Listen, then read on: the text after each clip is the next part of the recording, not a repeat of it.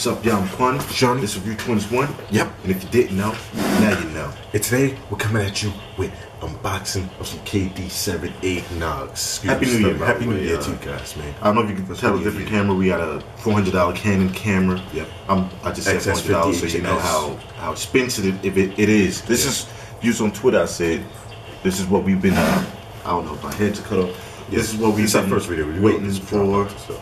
This is what we've been waiting for, uh, and we didn't make, want to make another video without having an HD like this is. It's Yeah, beautiful right now. So I was using my phone actually. Let's get started real quick. Yeah. Uh, let's do this. It's gonna be a really quick unboxing. So my let me, let me show mine first. Yeah, yeah. This is the big ones that just came out. My KD, Bless you. excuse me, my KDs are the KD7 Lightning 535s. Right?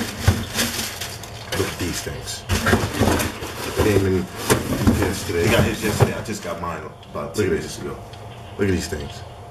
These are just strictly basketball shoes.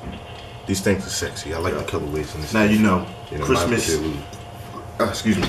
Kevin Durant did not play with the foot injury, so he didn't wear shoes.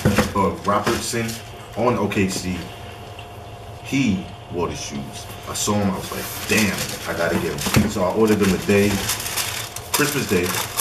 Well, not Christmas Day, New Year's Day, and it just got here just now. The KD box. You know, Yeah, I got the KD box too. I saw a unboxing of somebody and they had a, a special box. It was like, it's beautiful. But here they all right here, man. Here they all right here. And you could, like in the picture, you can't really see these little dots representing like the nut nutmeg, I think. Yeah, the nutmeg. But these are really nice. You see the bottom, then you see inside. Really It says 30 ounces, Loving this camera. 32 ounces eggnog. World Kevin Durant's World Family eggnog. So I'm guessing his mom either makes a good, some good ass eggnog. I never had eggnog before. Yeah, sounds good though. I'll, I'll try it out. Yeah. But Yeah, but let's tell you about. Well, this is the unboxing of KD7 eggnogs in the Lightning 535. Yeah.